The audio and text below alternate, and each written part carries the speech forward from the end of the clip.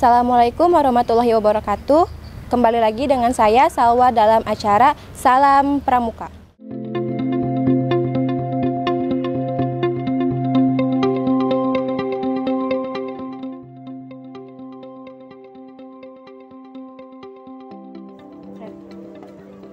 Kak mau nanya, lagi buat apa ya? Boleh dijelasin nggak?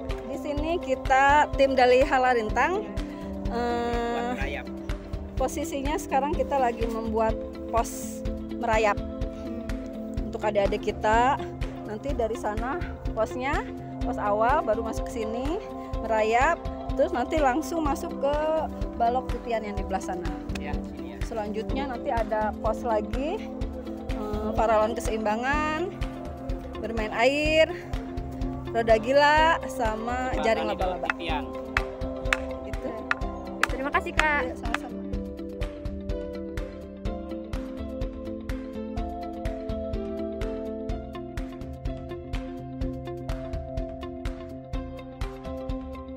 Ya, eh, selamat pagi. Eh, kami dari Lions Club Jakarta, Lions Club Jakarta, eh, Lions Club Indonesia ingin memperkenalkan diri. Saya Fanny Suslo sebagai Ketua Humanitarian eh, yang menangani eh, donor darah atau diabetes atau vision dan lainnya. Rekan kami ini ada ketua panitianya Lain Riana dari Bogor Host dan member dari Humanitarian itu eh, Lain Sylvia serta eh, Lain Rudi dari Dari A1 ya. A1 uh, Bogor, Bogor.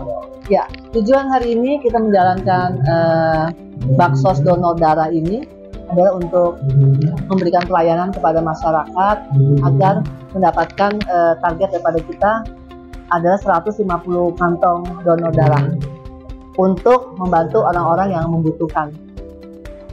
Begitu. Mungkin Lain Rudi bisa meneruskan? Enggak mungkin eh, ketua panitia bisa jelaskan Ya, ada apa lagi selain ada donor darah? Eh, selain donor darah, di sini ada pemeriksaan gula darah, eh, terus apa lagi ya? Eh, donor Uh, vision vision, ha-ha. cek mata ya, kayak vision ya. ha-ha. Ini eh, memang kalau di sini kita lakukan setiap tiga bulan sekali ya. Nah, dan jumlah donornya juga cukup banyak ya dan sudah rutin. Ah, 200 sekitar 200 lah gitu. Nah, itu ada lagi tambah tambah. Oke, cukup ya. Oke, Oke, terima kasih. Terima kasih.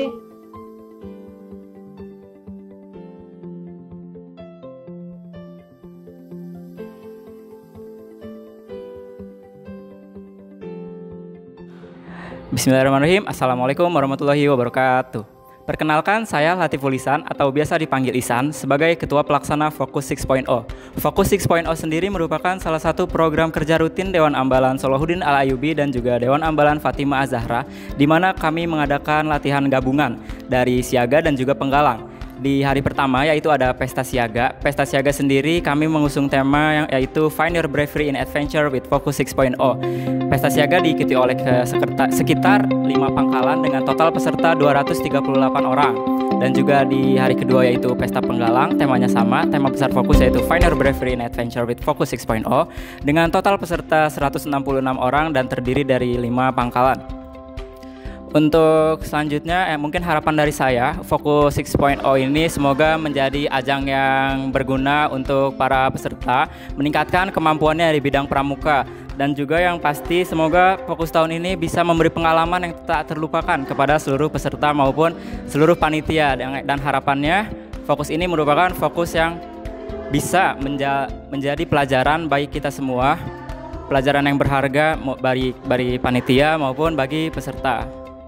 Mungkin cukup sekian dari saya. Wassalamualaikum warahmatullahi wabarakatuh.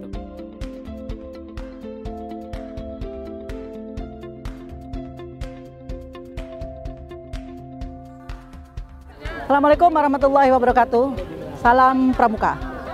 Baik, selamat sore. Saya itu Yati Kusnaini, Kanit bin Tipsos Satbimas Polresta Bogor Kota.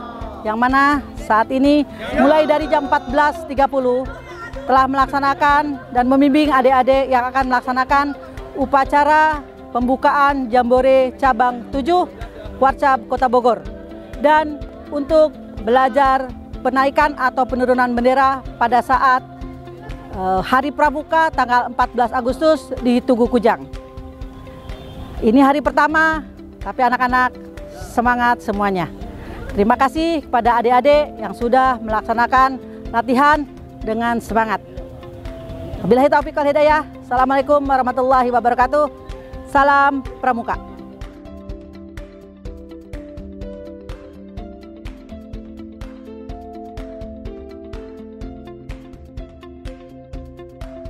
Assalamualaikum warahmatullahi wabarakatuh. Kami dari Abdimas Kuarcap Pramuka Kota Bogor. Hari ini uh, kita berada di Taman Makam Pahlawan dalam kegiatan bebersih bebersih uh, makam pahlawan, terutama pahlawan Pramuka yang ada di uh, pemakaman ini.